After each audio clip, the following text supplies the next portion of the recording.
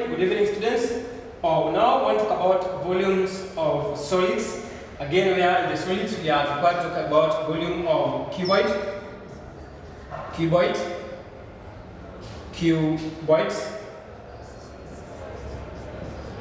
Then we have uh, triangular prism, triangular prism. Uh, then you can have what is called surface area of a cone.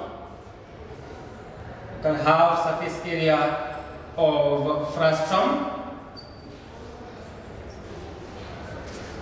You can have surface area of uh,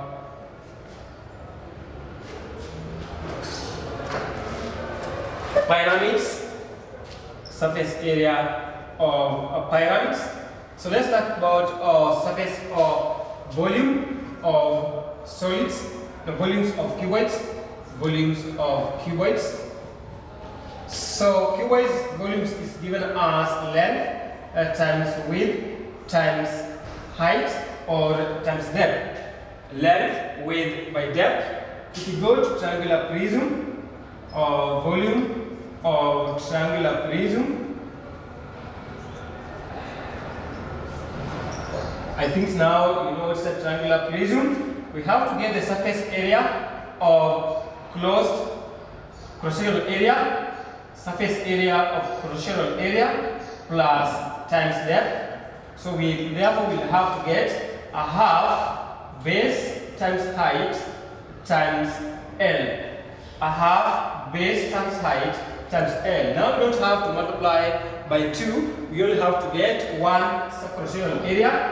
Then we multiply by H by L. Then we can have cylinder or volume of cylinder. Volume of cylinder.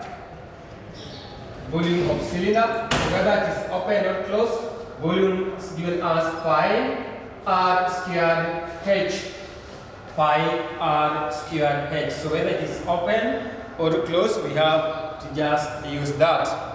Then we can have volume of a sphere, or volume of a sphere, volume of a sphere. So volume is given as 4 over 3 pi r cubed.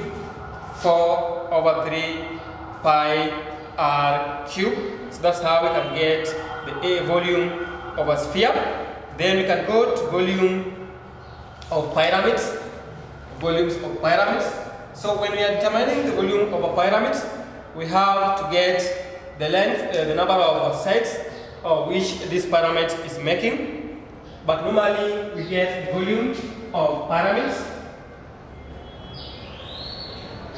as 1 over 3 AH, meaning the cross-sectional area times the h. If the cross-sectional area is of rectangular or of a square, then you get the area of that square, of the cross-sectional area, or the bottom part of that uh, pyramid.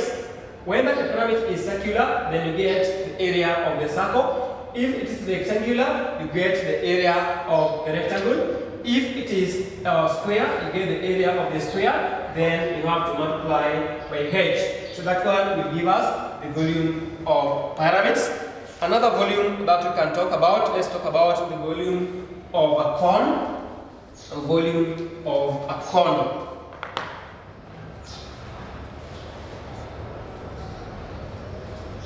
So volume of cone is given as a third pi r squared h. A third pi r squared h.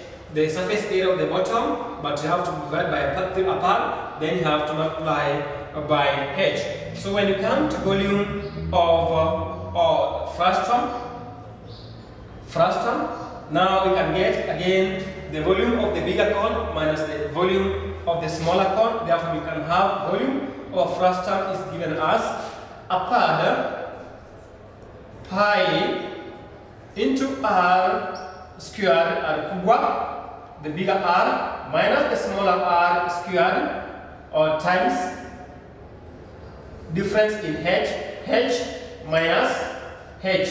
So get the difference in the h's. to get the difference in the h, or you can say it is upon pi r squared h minus third pi r squared h. Both of them can work. Pi r r, the bigger r, minus, no times the height, the bigger h minus small of r squared times small h squared. So let's talk about, in the next class, we're just going to discuss about uh, geometric uh, commercial arithmetics.